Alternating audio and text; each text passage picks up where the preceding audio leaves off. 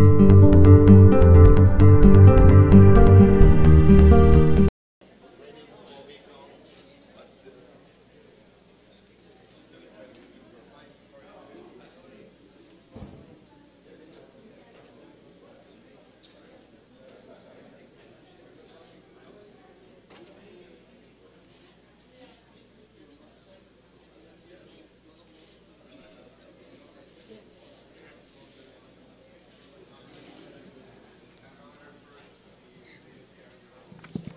morning, Secretary General and Dr. Chan will make a few remarks. Uh, the questions will be on health issues.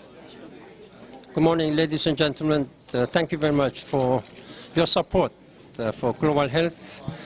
I'm pleased to be joined by Dr. Chan together uh, with me this morning. And I have, we have just wrapped up the opening session of the Forum on Advancing Global Health in the face of the crisis. As I said, a declaration of the first influenza pandemic in over 40 years reminds us of our global vulnerability and the need for a global uh, response. We cannot protect ourselves in isolation, by working in isolation. That is why this morning I convened for the second time an emergency uh, meeting of the Influenza Steering Committee together with uh, Dr. Chan. And this is a critical opportunity to strategize together and to plan out the next steps in confronting uh, the influenza pandemic. The key is continued coordination and cooperation. Our best uh, response is a firm demonstration of uh, global uh, leadership and solidarity. Uh, we will continue to work closely with the national governments and the World Health Organization. And I commend the leadership of uh, Dr. Chan in addressing this uh, pandemic uh, crisis.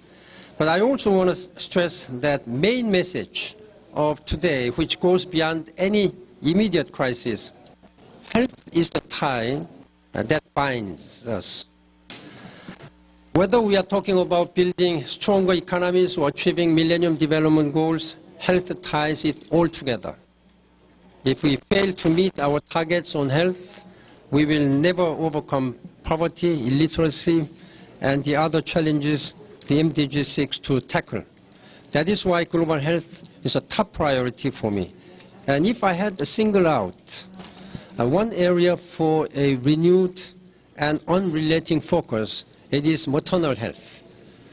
It is the slowest moving target indicator uh, of the Millennium Development Goals, but it is also the fastest way to build stronger health systems and a more secure world. In an era of limited resources and growing demands, we must invest in areas that will reap the greatest dividends. There is no better investment than safeguarding the lives of mothers. And I thank you very much, and I'm turning to Dr. Chan. Uh, Mr. Secretary General, thank you very much. I commend you for your leadership uh, to advance global health in a time when we are dealing with multiple crises, and this is needed more than ever before. And uh, your leadership and also bringing together the world's public health officials and also the diplomatic community as well as other ministries so that they do can understand the relationship, the interconnectedness of multiple policies to improve the health of people the relationship between good health and economic progress is demonstrated beyond doubt by the Commission uh, on Macroeconomics, commissioned by my predecessor, Dr. Uh, Gro Harlem So, I mean, it is good for every country to invest in health.